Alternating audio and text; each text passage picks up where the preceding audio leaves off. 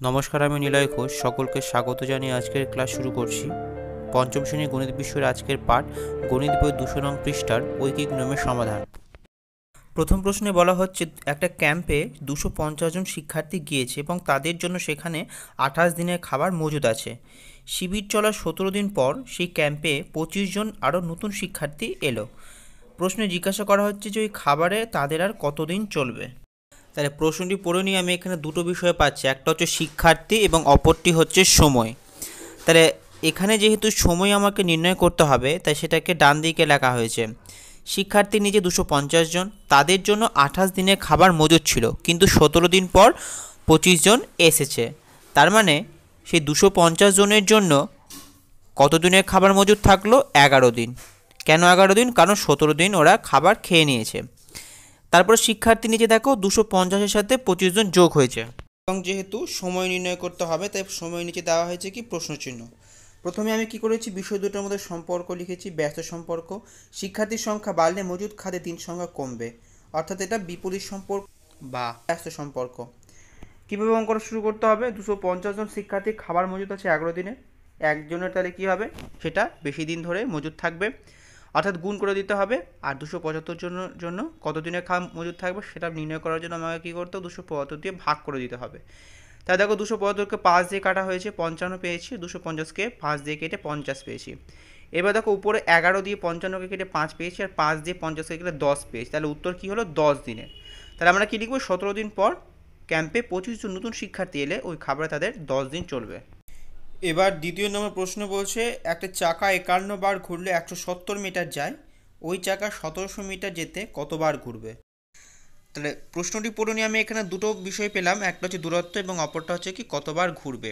প্রশ্নের নির্দেশ মতো দূরত্বের নিচে একশো সত্তর এবং ঘুরবে নিচে একান্ন বার, দূরত্বের নিচে সতেরোশো মিটার আর ঘুরবে নিচে প্রশ্নচিহ্ন। সম্পর্ক লিখেছি, দূরত্ব যত বাড়বে, চাকাটিকে তত বেশিবার ঘুরতে হবে, অর্থাৎ সরল সম্পর্ক। এরপরে একশো সত্তর মিটার যেতে চাকা ঘুরে একান্ন বার এক মিটার যেতে অবশ্যই কমবার চাকা ঘুরবে, তাই ভাগ করে দেওয়া হয়েছে। আর সতেরোশো মিটার যেতে চাকা বেশি ঘুরবে, তাই এটাকে গুণ করে দেওয়া হয়েছে। সত সতেরোশো এর একটা শূন্য এবং একশো সত্তর একটা শূন্য কাটা হয়েছে, তারপর সতেরো দশে একশো সত্তর আর একান্নকে দশ দিয়ে গুণ করে পেয়েছি পাঁচশো দশ।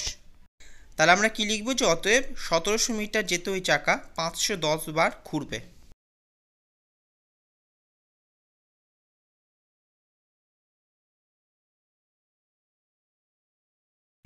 এরপর তিন নম্বর প্রশ্নে বলা হচ্ছে, চল্লিশ জন লোকের একশো নব্বই দিনের খাবার মজুদ আছে। তিরিশ দিন পর আটজন লোক অন্যত্র চলে গেলেন। যারা রয়ে গেলেন, অবশিষ্ট খাদ্যে তাদের কতদিন চলবে? প্রশ্নটি পড়ে নিয়ে এখানে আমরা দুটো বিষয় পাচ্ছি, একটা লোক এবং একটা হচ্ছে সময়। চল্লিশ জন লোকের খাবার মজুদ ছিল একশো নব্বই দিনে, কিন্তু তিরিশ দিন পর আটজন চলে গেছে। অর্থাৎ চল্লিশ জন লোকের জন্য খাবার মজুদ থাকছে একশো নব্বই বিয়োগ তিরিশ, অর্থাৎ একশো ষাট দিন। এবং যেহেতু আটজন চলে গিয়েছে, তাই এখন লোক সংখ্যা হচ্ছে চল্লিশ বিয়োগ আট, অর্থাৎ বত্রিশ দিন। লোক এবং সময়ের মধ্যে আমরা সম্পর্ক লিখেছি। লোক যত কমবে, তাদের জন্য খাবার মজুদের দিন সংখ্যা বাড়বে। অর্থাৎ এটা হচ্ছে ব্যস্ত সম্পর্ক। অঙ্কটা শুরু করেছি, চল্লিশ জন লোকের খাবার চলে একশো ষাট দিনে, তাহলে একজন লোক যদি সেই খাবারটা খায়, সেটা অবশ্যই বেশি দিন ধরে খাবে, অর্থাৎ গুণ হবে। আর বত্রিশ জন মিলে যদি খায়, তাহলে কম দিনে খাবারটা শেষ হবে, অর্থাৎ মজুদ খাদ্যের দিন সংখ্যা কমবে। তাই এটা ভাগ করে দেওয়া হয়েছে। এবার দেখো বত্রিশকে আমরা আট দিয়ে কেটে চার, চারে বত্রিশ হলো, চল্লিশকে আট দিয়ে কেটে পাঁচ পেলাম, চার দিয়ে উপরের একশো ষাটকে কেটে নিয়ে পেয়েছি চল্লিশ, চল্লিশকে পাঁচ দিয়ে গুণ করে পেয়েছি দুশো।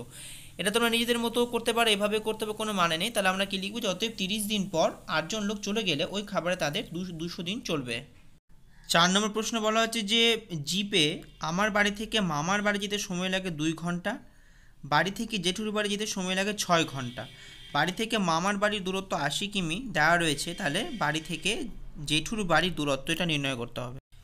এখানে তাহলে আমরা দুটো বিষয় পাচ্ছি, একটা হচ্ছে সময় এবং অপরটা হচ্ছে দূরত্ব। দুই ঘণ্টার সময় যাচ্ছে আশি কিমি, ছয় ঘণ্টার সময় লাগলে সে কতটা দূরত্ব অতিক্রান্ত করেছে। তাহলে আমরা জানি যে সময় যত বাড়বে, তত বেশি দূরত্ব অতিক্রম করবে, অর্থাৎ সরল সম্পর্ক। দুই ঘণ্টার সময় অতিক্রান্ত পথ আশি কিমি, এক ঘণ্টার সময়ে অতিক্রান্ত পথ কম হবে, তাই ভাগ। ছয় ঘণ্টার সময়ে অতিক্রান্ত পথ বেশি হবে, তাই গুণ। দুই দিয়ে ছয়কে কেটে পেয়েছি তিন, আর আশিকে তিন দিয়ে গুণ করে পেয়েছি দুশো চল্লিশ। তাহলে আমার বাড়ি থেকে জেঠুর বাড়ির দূরত্ব হচ্ছে দুশো চল্লিশ কিমি। এবার পাঁচ নম্বর অঙ্কে বলেছে ছয় কিমি দূরত্বের একটা সাইকেল রেসে একজন প্রতিযোগী বারো মিনিটে প্রতিযোগিতাটি শেষ করছে। রেসটি যদি সাত কিমি দূরত্বের হতো, তাহলে সে একই সমবেগে তা শেষ করতে কত মিনিট সময় লাগতো?